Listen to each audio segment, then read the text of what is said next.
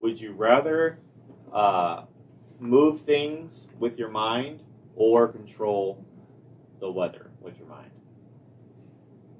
Move things with my Move mind. things. Telekinesis. I feel like the weather benefits humanity, but with your mind would just be awesome. Right. I agree. Yourself.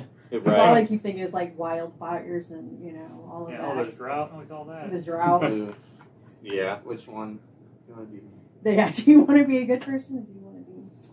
For here, just moving stuff with my mind. be? Yeah. Build Right. your own. right.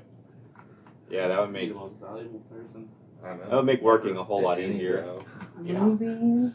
But controlling the weather though would be pretty cool. You could would become like a person, like a master villain, and hold the world ransom. Yeah. Yeah. Be the most accurate weather.